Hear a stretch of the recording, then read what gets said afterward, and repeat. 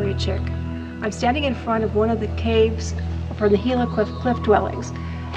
We're in, just outside Silver City, about 40 miles. Uh, I'm so lucky to live in this area because I get to come up here often. Uh, and it's, it's such a beautiful place. I can understand why the, the people that lived here 1300 years ago chose this place. The, the cave is natural protection. What you're seeing here behind me uh, is the original stonework that they uh, used it to protect themselves. Um, it, it, has some natural protection too because we're uh, actually pretty high off the valley floor. There's a creek down that way and it was a water supply.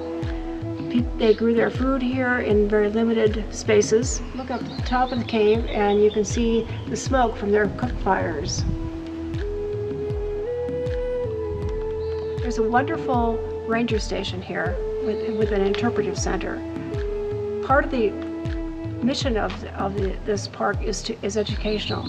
Part of it is to protect and conserve what, what was built here and to preserve the natural beauty of the area. To do this, there are park rangers, but there are also a lot of volunteers. The volunteers do tours of the area. They, they are so knowledgeable. They stay, come and stay for the whole summer. Uh, they are stationed up here and they really know the area very well. There's a stillness here.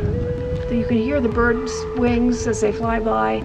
You can, there are butterflies everywhere. We need to protect our national parks from the standpoint of history and beauty.